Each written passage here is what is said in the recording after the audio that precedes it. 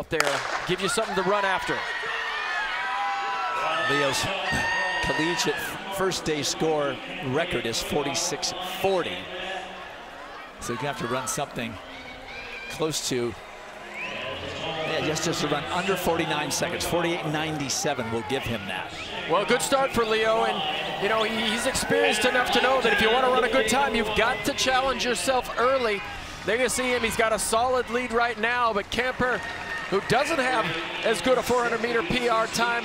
He's doing a great job there in the middle of the track as well. Josh Farmer of UCI also doing a good job. Leo now lifting into the finishing state. Campre trying to stay with him, but it's going to be Leo Neugebauer. Oh, Campre finds a gear. Finally finishes just behind Leo, 48.01.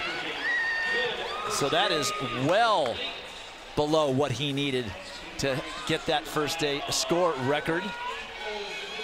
48.03 now it's corrected to.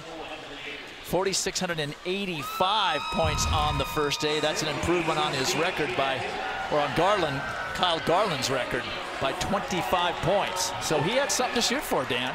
Well, nice move by Josh Farmer there with about 200 or 150 meters to go, but it's just a bigger, stronger, more powerful Leo Neugebauer down the stretch. But good run for Edgar Campre as well, who ran a personal best there. He did find another gear, and this is where you learn how to really challenge yourself in meets like this. And Leo crosses the line, and he's like, you know, that effort's a good enough effort that I can throw up the throw up the horns here on that finish. he would have loved, I'm sure, to have seen something in the 47s, but he's just right outside.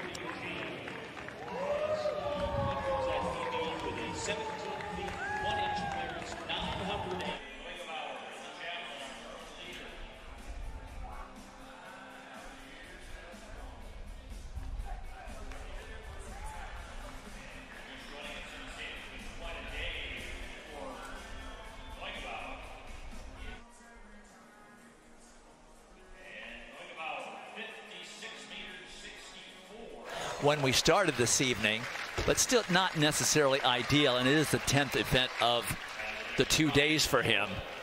But it's a matter of what does he want to do? Does he have any ambition to really go after it? Let's tell you what he's got to do. If he wants to score 9,000 points, he needs to run 438.38. Certainly within his capability, but does he want to do it? For 8,900 points, 454.72. And if he just wants to break his own collegiate record, of 8,836 points. He just needs to run 505.67. I'm betting on something in that 89.25 area personally. Well, that would, that would that would surpass my score. I would move down to eighth all time. He would move up to probably sixth all time. But I'd love to see him score 9,000 points. Just think about that as an NCAA record, 9,000 points. But talking to Jim Garnham, I said, "What are you guys going to do?" And he said, "We're going to go for it, man. We are here to score big. You don't." Squander an opportunity when you have an opportunity to score really big. But what Leo Neugebauer has done in this competition, he's sending notice. Look out, Pierce LePage. Look out, Kevin Mayer. Look out, look out, anybody else in the world who thinks they're going to get a medal at the Olympic Games. All right, so that's the Leo Neugebauer story. But there Yes. is a team story going on here, and Arkansas is, is always a big event for them, and they are right in the hunt for some decent point totals if things go well in this 1500. All right, the leader there on that first lap goes 68. Leo 73.5, so that he's in that he's in that 440 range. But here we see there we see the leader. But that's Yariel Soto Torrado of Arkansas. He sits in 10th place right now. He is an outstanding 1500 meter runner. He needs to move up. He needs to move up at less than 100 points to get into eighth position to score some points. Jack Turner, the other Arkansas athlete, there's Jack with the shades on. The Brit there for Arkansas. He's in fifth place. He's a good 1500 meter runner as well. So Arkansas, again, in the multi events, has an opportunity to score good points.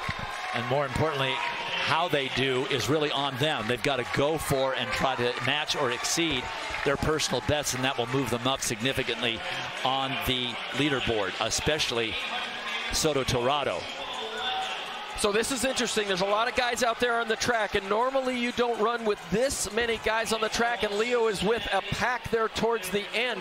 And if this pack wants to help him at all, they've got to pick it up just a little bit. The guys up front are running pretty well. There you see Torrado in second. Jack Turner now moving up from sixth or seventh place into sixth position.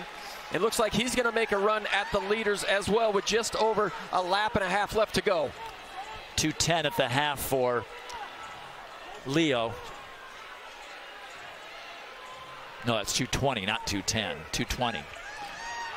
So if he splits that in half, he's got what he needs to be just under 9,000 points. 230, I should say. So I think I'm looking, my estimate is looking pretty good, actually. Okay, now you see Leo Neugebauer coming to, coming to focus. He's ahead of that final pack. It looks like he's got to get his chin down a little bit, but it looks like he's making a little bit of a move. He's making an effort to pick that pace up as Yariel Soto Torrado and Jack Turner make a run for the front here.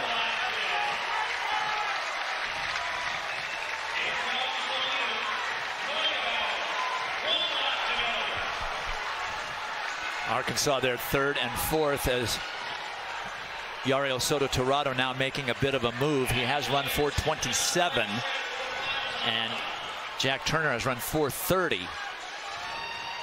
So they can race themselves up the leaderboard and help out their Razorback team.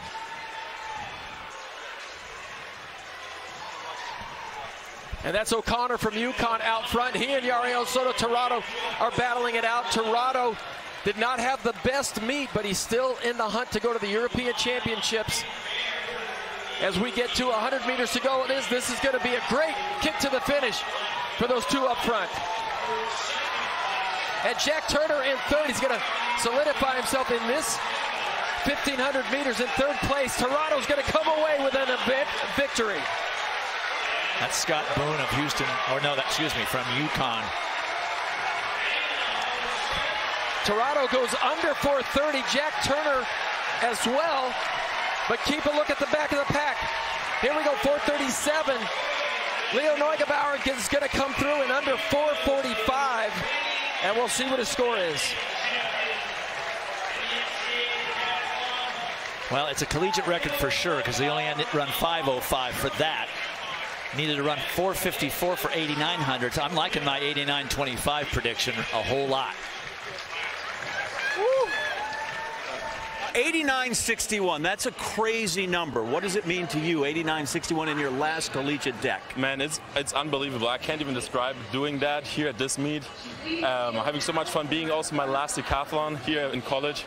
Uh, but I can't put my words, uh, my thoughts into words right now. Okay, can you put your thoughts in the word of like, I was so close to 9,000? Uh, it was it was cool playing with that idea. Uh-huh. It wasn't supposed to happen today. I really tried. I passed people. That's the first time ever that passed everybody, anyone to 15. So I tried. It wasn't enough, but there's other events where I can definitely get the points. I want to talk about sort of your growth as an athlete in your time at Texas. Your first deck, 76-21, and now you're nearly 9,000. What has this four years been like to go from that number to the number you put up today? It's been a crazy way, just like my progression. It's been like a slow process. Especially in the last two years, I really put in a lot of work, a lot of really every single day because all the um, championships and everything is just rented. You know what I mean? You have to earn it every single day, and that's what I did. Yesterday you were a little worried you didn't eat enough. What went into the body today? Take me through. Oh my God, I ate a lot, minimum double of what I ate yesterday. Right. Yeah. Any uncrustables? Because like Lara's up there and she could she can house like eight of those.